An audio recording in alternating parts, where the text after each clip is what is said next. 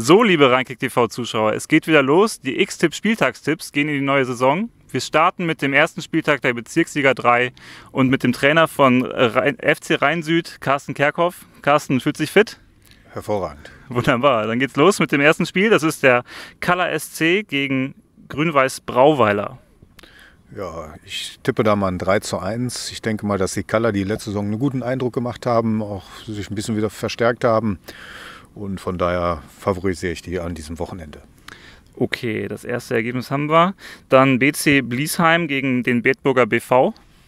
Gegen Bedburg haben wir letzte Woche gespielt. Wir haben zwar klar gewonnen, aber die waren gut organisiert. Und ich denke mal, Bliesheim wird es sicher schwer haben in der neuen Klasse 0 zu 2. 0 zu 2 da. Dann haben wir den TUS Schmidt gegen GKS, GKSC Hürth. Mhm. Ja, Schmidt war letzte Saison schon sehr schwierig und GKSC hört, glaube ich, die haben sich gut verstärkt. 1 zu 3. 1 zu 3 da. Dann haben wir die ähm, Spielvereinigung Düren gegen Türkspor Bergheim. Bergheim ist ein Aufsteiger, glaube ich. Mhm. Ähm, sind beides Aufsteiger. Türkspor hatten wir letzte Saison mal in der Wintervorbereitung. Ähm, war auch eine ganz ordentliche Truppe, aber ich denke mal, die kommen mit dem 1-1 davon beide. Ein Unentschieden bei den Aufsteigern. Dann haben wir Germania Lich-Steinstraß gegen den äh, SV Stotzheim. Wie geht das aus? Ähm, wenn man den Vorbereitungsergebnissen vertrauen darf, würde ich mal auf ein 3-0 tippen.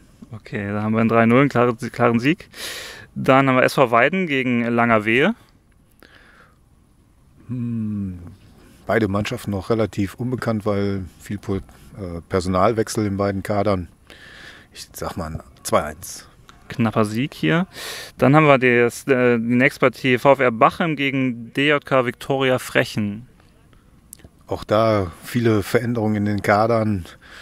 Ähm, auch schwer einzuschätzen, aber da sage ich jetzt mal an 1 zu 2. Alles klar, da gibt es einen Auswärtssieg. Und jetzt zuletzt noch ähm, euer Spiel. Ihr spielt zu Hause gegen Alemannia Strass. Wie schlagt ihr euch da? Ich denke, wir werden einen guten Tag haben und wir werden gegen einen guten Gegner ein verdientes 3 zu 1 einfahren. Also startet ihr mit dem Heimsieg. Da wünsche ich viel Erfolg bei und Dankeschön. Ich danke.